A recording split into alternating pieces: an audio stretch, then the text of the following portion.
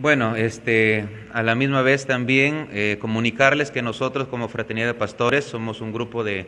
iglesias que están conectadas con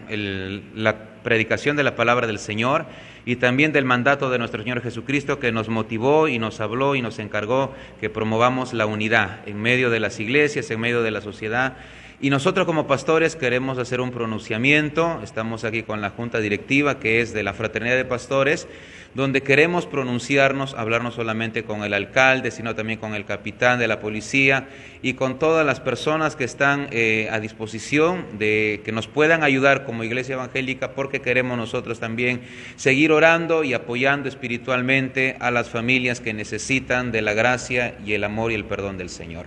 hemos podido ver que las últimas disposiciones que rigen a partir del 15 de febrero indican, pastor, pues que... Eh, ya no se podría abrir las iglesias y sería pues eh, de alguna manera esto perjudicial para poder eh, seguir de alguna manera determinando la doctrina cristiana. Claro, en nuestra posición, en mi posición personal, bueno, no estoy de acuerdo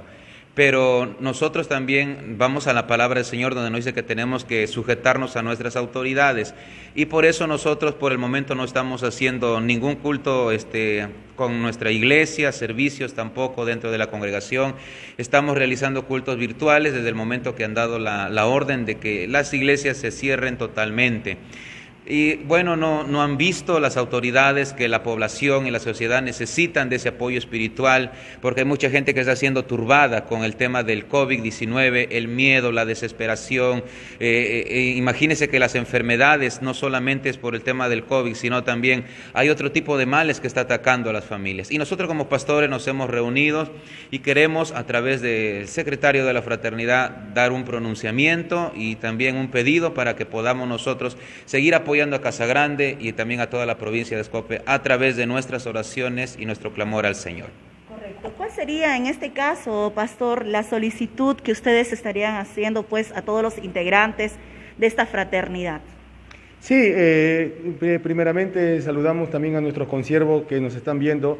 que son nuestros pastores del Valle Chicama y de toda la provincia de Ascope. Y estamos aquí tratando de poder, eh, ya creo que más adelante el presidente lo va a decir, pero la idea es poder reunirnos y poder eh, ir a nuestras autoridades a poder conversar, porque es bueno siempre conversar y poner nuestra, nuestra petición delante de ellos para que podamos eh, realmente poder, respetando el protocolo, poder también poder servirle al Señor y poder ser esa